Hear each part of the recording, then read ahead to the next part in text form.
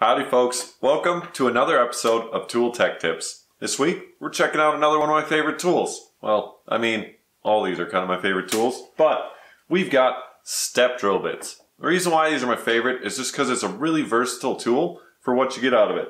If you wanted to drill a hole for maybe a vandal switch, it'll do that for you. If you want to drill a hole for maybe a pass-through fitting or another type of fitting, it'll do that as well. It's really handy because they come in a bunch of different sizes and you can get pretty large diameters. So it will kind of cover a lot of bases instead of forcing you to buy a whole set of regular twist drills. There's another couple cool features about them, so let's just dive on in and see why the step drill bit is so great.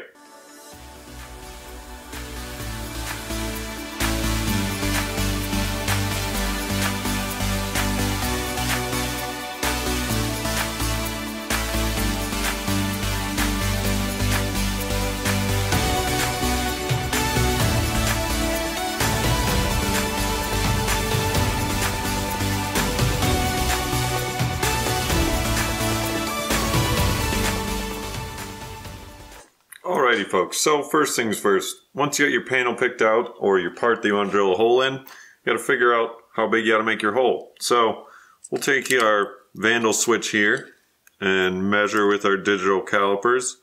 We got about 22 millimeters. So we can take our step bit and you can pick your appropriate one now if you have an assortment. Obviously this one's uh, in SAE units, but it's about 7 eighths of an inch getting pretty close to an inch there. So we probably want to go to that nicely marked spot on our step bit. If your step bit doesn't have some nice markings like that, um, a nice trick is using a rubber band. You can put a rubber band around this and you go until you get to your rubber band. Otherwise, you can just do the guess and check method as well. Now, like I said, you got to pick out the appropriate size step bit. Obviously, this one right here wouldn't work in this scenario. We could start with it, However, it does not get big enough for our Vandal switch. Next up, you gotta mark out your hole. I always recommend uh, punching using a metal punch or at least a pointy, very hard object to put a little divot where you want your hole to be. This will just help your initial drill not slip. Now, if you've got a nice, fresh, new step bit, especially like this one that I have here, you can just go ahead and start drilling with it. However, I typically will start with a much smaller uh, twist drill and get a pilot hole started. It just kind of eases the process of getting the step bit started and not having it walk on you.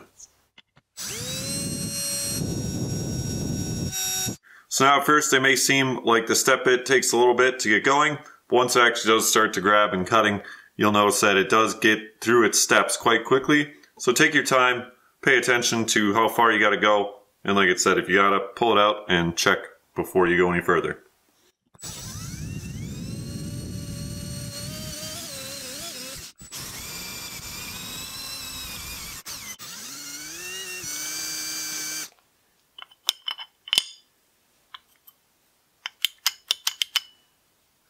So now with a thicker piece of a material, especially like this aluminum we have here, you'll notice that the step actually doesn't get all the way through the material on some of the steps. So you may want to go back to the other side of the hole and drill it out there as well, just so you get an even cut throughout the whole surface.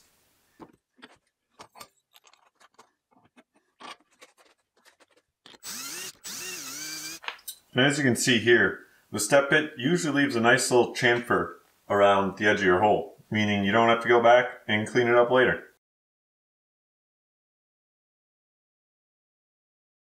Alrighty folks, now that we've got our test piece all squared away with the Vandal switch, I want to take you guys through drilling a couple holes for some pass-through fittings.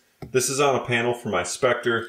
That's why it's all taped up and uh, only clamped on a nice soft mat on a table. I can't scratch the paint or ruin the paint, so we're gonna have to settle for this.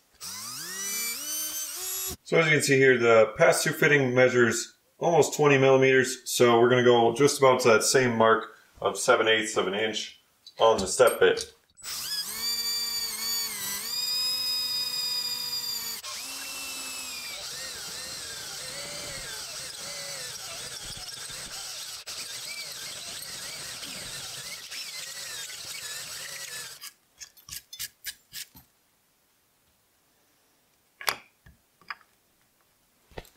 One down, one to go.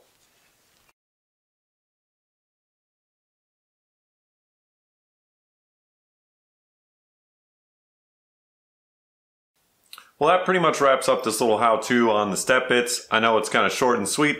There's not too much to them. If you guys have used some step bits in the past, let me know how you guys liked them. Uh, if you guys got any questions, please leave those in the comments too. I've been really enjoying reading your comments and seeing how much you guys like this series, so I'll be sure to keep it coming. Otherwise, you can find your own step bits at PPC's, of course, so I'll have those linked right down below in the description for you.